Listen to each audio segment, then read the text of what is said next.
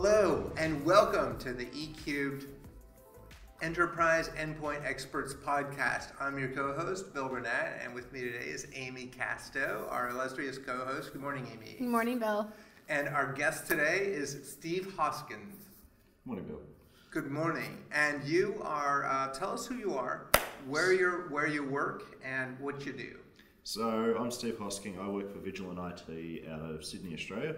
Um, I'm a, a, consultant where I run around and do various different technologies from Intune, SCCM to OS management and SQL. And you can change your title a little bit when you need to, as I understand it. That, that's correct. I, uh, we're a small company, so we fill many hats and many roles. So whether I'm a, a developer or a consultant or an engineer, it, it works when we need to.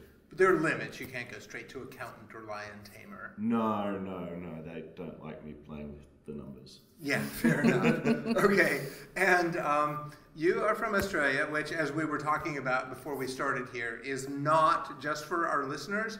It is not at all like it is depicted in the movie Australia with Nicole Kidman and Hugh Jackman. So parts of Australia may well be like that. Yeah. But the majority of Australia, where you see the populace, is a little bit more modernised and much like what you see in America in the big cities.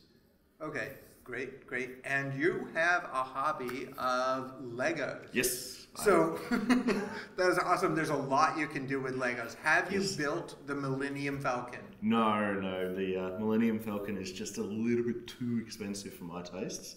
Uh, it's uh, it, while it's expensive in in America, in Australia, it's almost twice as expensive. Wow. So it's uh, just not worth the licensing costs. Right, right, right. Okay. And so, what is this? Con- I understand you're going to buy some Legos here at MMS in the Mall of America. Yes. What have you got in your so, sites? What I've got lined up is the new roller coaster that Lego's releasing today, ironically. Um, and it's going to be available to allow you to have a fully functional roller coaster of where they move the pieces around and all automatic motors and stuff. Wow, that sounds cool. It's just being released today? Yep. Now I'm worried you won't get to the store on time. Okay. I'll be fine. so we'll just dive in here. Today we are talking about ICB. No, I always do that backwards because when I was in school they taught us about ICBMs, which is not what we're talking about today. uh, so we're going to talk about the. Uh, internet based cloud management. Is that right? Yes. Okay. Internet based cloud management. Versus the cloud management gateway. That's correct. So maybe you can start by giving us like a, high level sense of what is the history of these and sort of what where did it start? What was the need? Yep. What's the evolution of the technologies? Okay. So internet based client management is the ability to install and manage your SCCM clients outside of your network. So it started out, I would say, with 2003, it may have been before that, where you had the ability to publish a um, endpoint in your DMZ and your clients could connect in and access and manage your devices. So it was for your road warriors, for people outside your network that need to be able to have their computers patched, applications installed, and along those lines. So that was the internet-based client management concept. That over the last two to three years has had a little bit of an evolution with current branch where Microsoft's brought in the cloud management gateway, which is moving the requirement of having the server in your own DMZ and managing your own firewall and your ports and moving it up into Azure. And when it goes up into Azure, it sits in its own little bubble, little cocoon, and goes, this is just for Cloud Management Gateway. There's no network connected to it. It is a direct call between the SCCM primary server and the Cloud Management Gateway. Okay, so now be very curious to hear what it takes to set up each of these.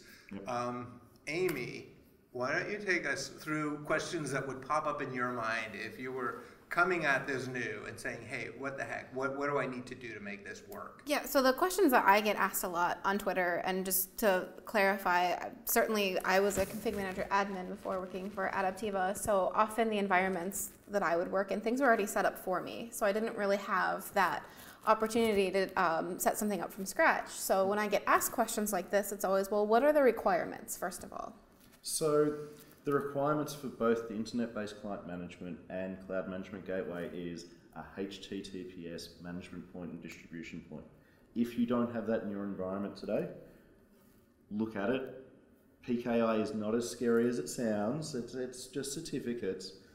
But if you don't have that today and you want to go to Cloud Management Gateway to manage your devices outside your environment, you need to have all of your clients recall into your environment under HTTPS.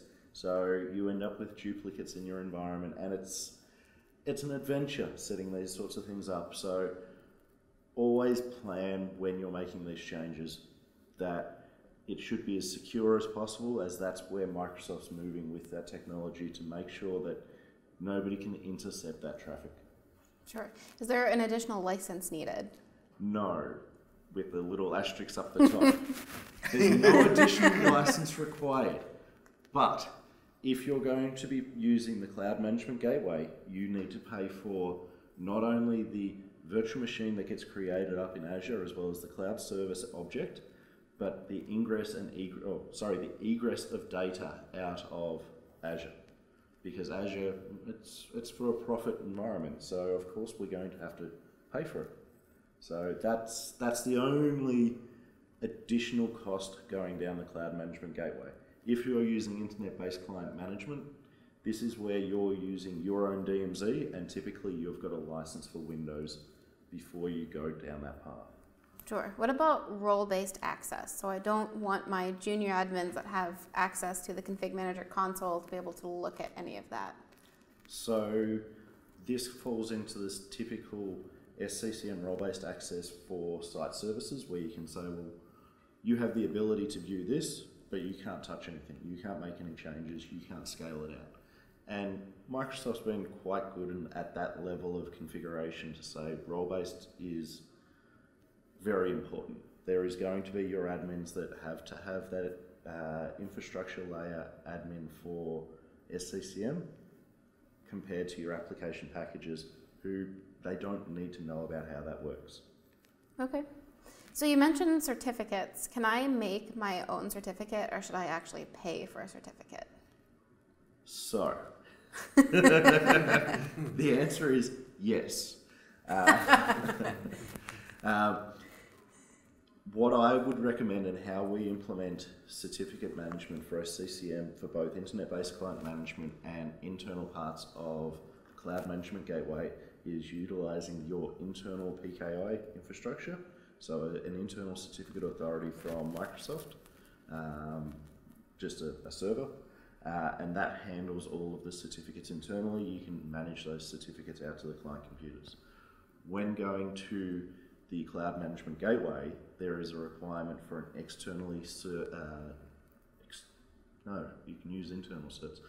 Um, for Cloud Management Gateway, you need to, you can't use wildcard certificates. You can't use a whole heap of different things because it needs to be a fully named instance. There are changes coming through at the moment where PKI is becoming less important for these things, but it's always still going to have some sort of certificate requirement. Okay.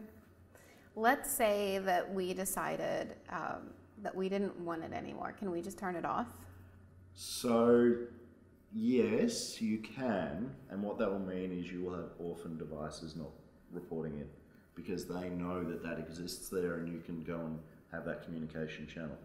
Once those devices come inside your network, then you have the ability to sit there and they've, they've picked up the new policy to say, well, you're no longer internet based. Whether it's cloud management gateway or whether it's a, a traditional internet based client management. Where it becomes an issue is for those devices that don't come back onto your network. So in our environment, we have a multi-tenanted SCCM environment where all of the servers that are communicating to our SCCM exist on customer sites and the only way that communication can occur is through that internet-based client management. If a um, client on the road connects to my CMG or my, I don't know, another client that's on the road and Mhm. they're sharing peer to peer because it's two people that went to the same office, are they going to spread viruses? Not likely, because it won't be spread via the channel of SCCM. Obviously, if they're unprotected computers or they don't have firewalls on those devices, they could spread viruses between themselves, but not through the cloud management gateway because it's all secure and we don't have the ability to go, or we, should not have the ability to go in and modify things on that server. Um, you can go and log onto that server in Azure for troubleshooting, but by default that's all turned off and you don't have the ability to sign in there and access that server. So from a security point of view, it's it's just this little black box that sits out here that communicates back to your on-premises management point. So from a, a peer caching point of view, it doesn't really utilize that in the cloud management world. Okay. Should I be worried if my organization isn't allowed to send telemetry data to Microsoft and I'm using a CMG? If you're not able to send telemetry to Microsoft, I would assume you don't have the ability to access Azure to create those resources for Cloud Management Gateway. okay. So you have to use telemetry. Well, I haven't gone to the extent to investigate whether you need it or not, but most organisations that don't want to send out telemetry also don't want to go to the cloud because it's, Right. it's around the security profile of well, we don't trust. The external same things that would make you wary of sending out telemetry would make you wary of moving to the cloud Mhm. at all. Yeah. Got it. And, and that's my opinion on that. That may not be the truth, but that's how I would say it. Okay, yeah. Yeah, so you passed the test. You got all the answers correct. Congratulations. Do I get the job? Amy, being a world expert on this subject, was simply just peppering him to make sure he knew what he was talking about. I hope that you were adequately nervous and, and worried about the exam, Of but course. you are now certified. Yay. Uh, okay, uh, I have a question. What is all this about Tim Tams? So in Australia, we have a product called Tim Tams, which is chocolate biscuits that are quite yummy. Mm-hmm. And what we don't realize in Australia is they're not readily available anywhere else in the Yeah, I had never heard of it. You're all Tim Tams, and I'm Um, like, tell me more. So they're a very nice cho- uh, biscuit or cookie covered in chocolate with a thin layer of uh, creamy filling in the middle. And they do all different flavors. So we have caramel flavors, we have white chocolate, we have coffee, uh, we have just chocolate or double chocolate. Or it's This sounds great. So, Yes. and you typically travel with extra Tim Tams because you like to share your your country's unique food item with people who are interested. Yes. And So that, oh, when I come to conferences and events and things like this, I make a point of bringing extra Tim Tams because I find that quite a lot of the IT professionals have a sweet tooth and like to trade chocolates and sweets. Um, it's why I don't bring Vegemite though, because Can't imagine why that's unpopular. yeah, that, that's more the gag gift of oh yeah, yeah, yeah, you put it on a spoon and eat it just normally. that's how we all eat it. Mm-hmm. yes, yes, have fun with the Americans there. Yes, yes, yes, indeed. Well, fabulous. And you're going to bring us some of these Tim Tams, which I am. I thank you in advance for, as does Amy, I'm sure. They are very yummy, and I'll bring some down for you. Do we have a would you rather for? We do. I need to get some information from you first. How much do you know about kangaroos? I know enough to not pet them Okay. because they're not fun if they come and chase after you. So they're pretty go quick, huh? Fences, yes. Okay. So I grew up on a farm, and Mm-hmm. one of the most frustrating things about kangaroos is they just go straight through the fence and take the wires with them, and you've got to go and fix the whole fence. That sounds an awful lot like owning a horse as well. So, Yes. yes. Interesting. Okay, so would you rather jump as fast and as high as a kangaroo or hold your breath and swim around like a whale? Swim.